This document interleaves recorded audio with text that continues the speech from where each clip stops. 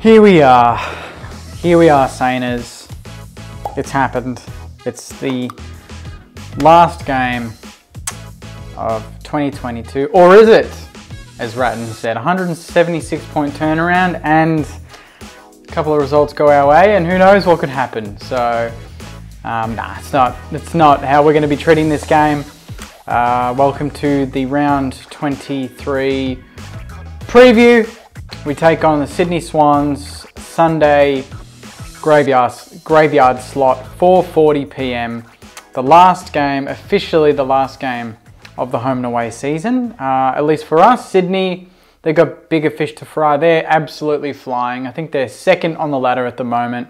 And they know that if they win, that's top four, that's probably top two locked up and uh, a very good start to, to finals for them. So they're just in absolutely scintillating form, and they're our opponent. It's going to be very difficult. We are going to be without Cooper Sharman um, and Mason Wood, who I believe uh, suffered some injuries at training during the week, so they're going to be out. But we've got a host of players who are coming back in, including Josh Battle. Um, Dan Hannebery, notably, is playing his last game of AFL football is 226th and last, I believe, and against his old club, which is fitting.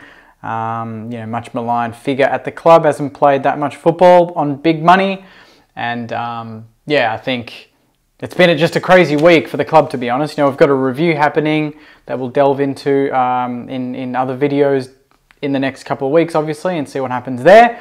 And then you've got Brad Hill potentially leaving, could even go to North Melbourne where Alastair Clarkson is now coach. Another big piece of news. Um, and obviously, the, you know, the likelihood of Paddy Ryder potentially retiring, and then obviously the news of Dan Hannebery. So there's just so much going on. Um, and every, you know, this game, the Sunday game, is kind of taking a back seat. We're not really talking about it. We're talking about all the other news, and hopefully they're not a big distraction for the boys this week because, you know, we, we probably we're not going to make finals, and um, we've been in pretty much average form since the bye. Three wins and seven losses, I think, or three wins and eight losses. And the least they could do is just, yeah, put in a performance on Sunday, whether we win or not, and give the fans something to cheer about. But I, I don't know. I kind of feel like this is the game where we'll probably win because that's what we do when the pressure's off. We win games and we play well. But this time, it's not going to really help us because we were eight and three and this was the year to make finals, not a building year. Last year, we finished the season well. We smashed Fremantle. We saw Bytel come in and play really well. We saw Sharman kick four, and we're like, great, there's plenty there to enjoy. We didn't make finals in 2021, but we got that game. We felt a bit better about it. Off season was good, and then the rest was history. This year, we, we started the year on fire, eight and three. Um, we really expected to play finals, you know, compete pretty hard for that flag and all things were looking good. And then second half of the season happens, tougher draw, injuries, bad form, just overall mismanagement from the club as a whole, and we find ourselves in a review after signing on Ratten for two years, and you know coaches are coaching changes are going to happen. Lenny Hayes as well, so. There's a lot outside of this game that's taking place, but in terms of the game itself, it's really easy to kind of narrow down where we need to compete in this game. First of all, stopping uh, Isaac Heeney and Buddy Franklin. And then second of all, not bombing it to the McCartin boys who are, you know, just Paddy potentially all Australian. That's how good he's going. Um, and feeding it down their throats and not maximising our forward entries when we get them. Their midfield is very good. It bats deep. It's very young. Obviously, uh, Jay Kennedy is finishing up for them, or he, he has finished up. He's not playing. Um, so a bit sad that him and Hannes couldn't finish off their careers together, but nonetheless, they've got a very, very good midfield. Um, they don't rely on one player. They've obviously got Warner, who's um, who's a gun. They've got so many players across the park that can cause us problems. When you look at it, you know you've got uh, Lloyd, who causes us problems most of the time. Warner, Heeney, um, Papley, Franklin. And then you've got Blakey, who's great at, you know, just running off halfback. Hickey, who's been a gun for them since uh, they got him, so they can thank us for that. And, and, I think West Coast, he went to West Coast as well, I'm pretty sure. Um, Gould, Wicks, McLean, they've got just so much good depth and so much just youth, good youth that's coming through that makes I guess most Saints fans pretty jealous because Sydney just don't seem to bottom out. They always have good players like A graders, and then they always have the the youngsters in behind, just just breeding youngsters constantly. And um, that's the one aspect of St Kilda that I guess we want to get to is having that that good portion of youngsters coming through. And for us, the youngsters in this game that are going to obviously be the players that we want to watch are Owens, Windhager, Nasiah, Sharman. Bytel hopefully gets a good game and comes in. Um, the other in so far, Tom Campbell, Dean Kent, Ryan Byrnes, Darragh Joyce. You'd imagine, obviously it's an extended bench and the final team will come out later tonight. But a lot of those players are going to be playing for contracts. You know, Ryan Byrnes, I thought was going to have a big year this year, didn't happen. Tom Campbell killing it at VFL level, just doesn't get picked. Uh, same with Darragh Joyce at fullback, questionable. Dean Kent, um, obviously Dan Hannebery retiring. Josh Battles re-signed, but the bulk of these players um, haven't re-signed or haven't been offered contracts. And then you've got Brad Crouch on top of the two injuries that he's got a one week suspension um, for his hit last week on, I think it was Gardner against Brisbane.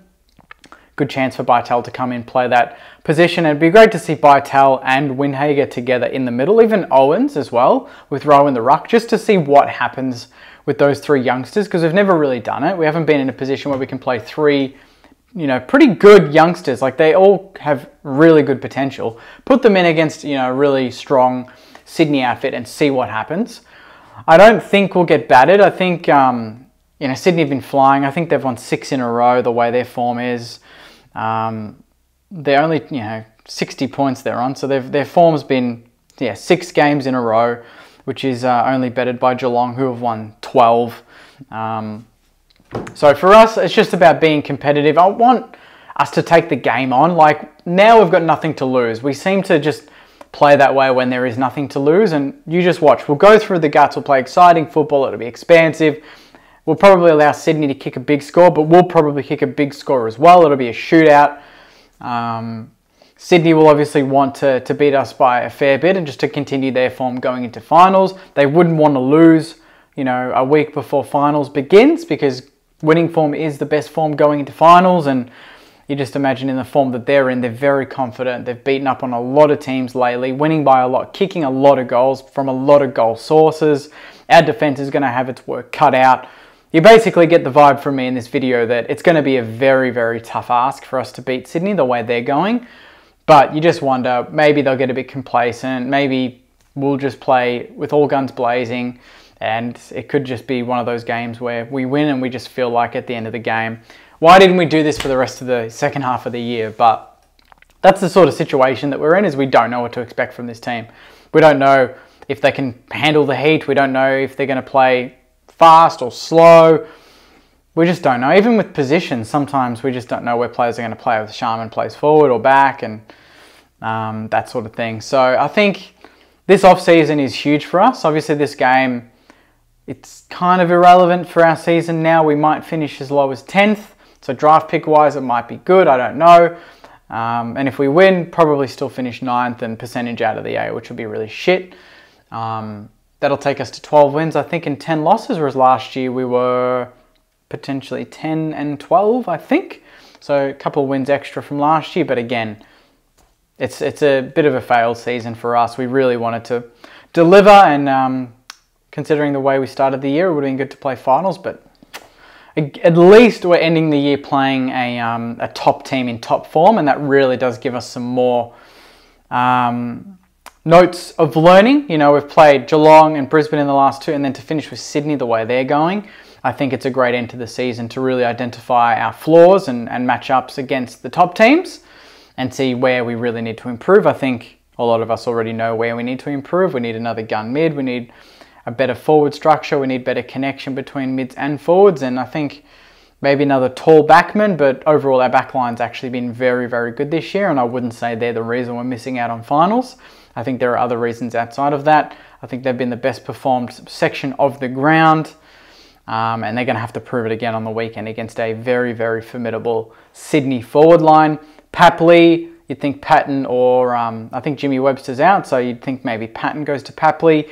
Franklin's a nightmare for whoever goes to him. I think Wilkie's had history on him previously and done a good job, so you'd think Cal Wilkie and then Dougal Howard can take someone like a Sam Reid or McDonald or someone like that. So it's going to be a tough one, saying as I'm going obviously with the Swans uh, mate, so that'll be interesting watching. But I really do hope that a lot of Saners do get to the ground and support the boys. I know that we're all really frustrated with the way the club's going at the moment, particularly off field, the way it's being run.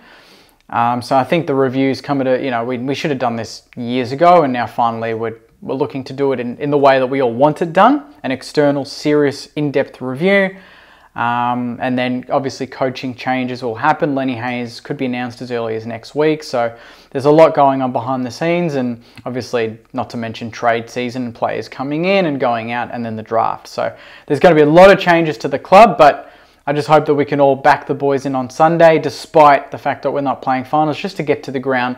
It's the last time before you know six month break that we get to watch the boys live. So I think, yeah, a Sunday 440, if you can get to Marvel, let's try and get 30,000. We couldn't even get 30 last week on a Friday night against Brisbane.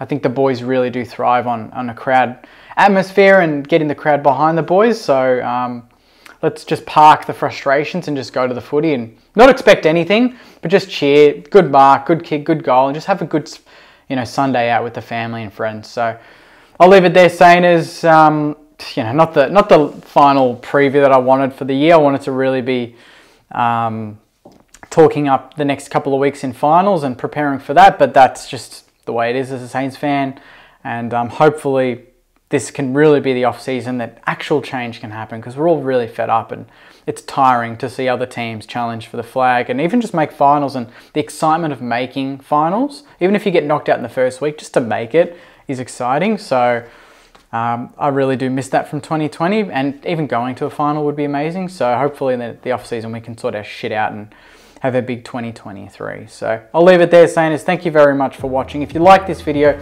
please like it, subscribe as well. We've hit 4,000, but the next target is 5,000, obviously. So if you're watching this and you haven't subscribed, please hit the subscribe button. That'd be amazing. Um, and I'll be back after the game on Sunday night for the full review of our final game of the season against the Sydney Swans. But until then, Saners, take care of yourselves, enjoy the rest of your Friday and Saturday, and I'll see you after the game on Sunday. Take care, Saners, and go you mighty Saners. See you guys.